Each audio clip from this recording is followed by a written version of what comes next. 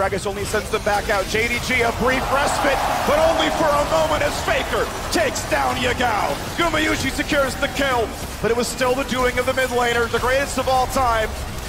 10 years in his career, five years since Ruler kicked him out in the finals. And tomorrow we may see him rematch that man for his fourth title. The Nexus turrets fall. T1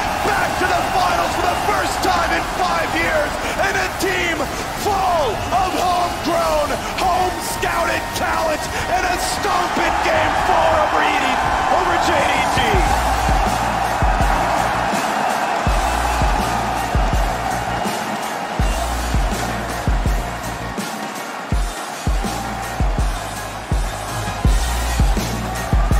What an arc for this T1 team as well.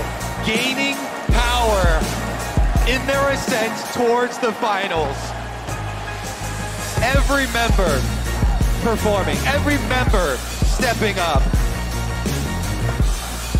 The expectations coming into this series was that it would be the battle of top lane gods, 369 versus Zeus. But it really all became about the bot lane, 2 versus 2, Gumayusi in these fights, and Keria alongside him continue to dominate. An unbelievable performance from T1.